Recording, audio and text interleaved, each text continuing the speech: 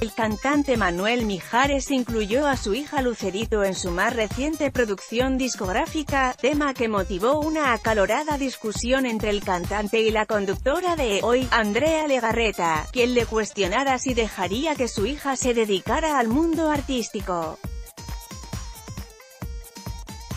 De acuerdo con Tribuna, durante la entrevista que brindó al matutino, Mijares subrayó que contrario a lo que se ha especulado en diversos medios de comunicación, la participación de su hija solo fue como parte de un regalo de cumpleaños y no porque tenga deseos de debutar como cantante.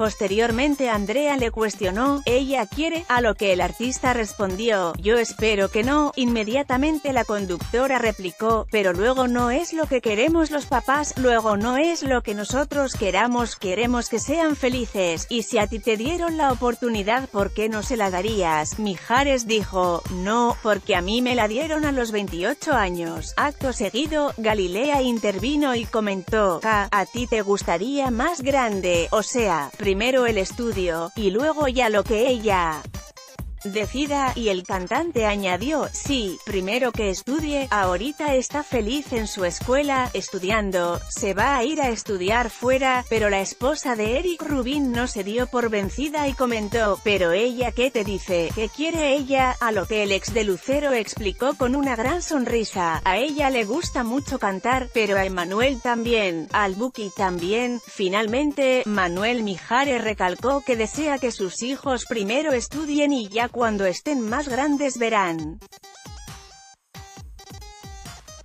Es así como el cantante dejó en claro que por ahora sus hijos no buscarán desarrollar su talento en el medio del espectáculo con acento agudo.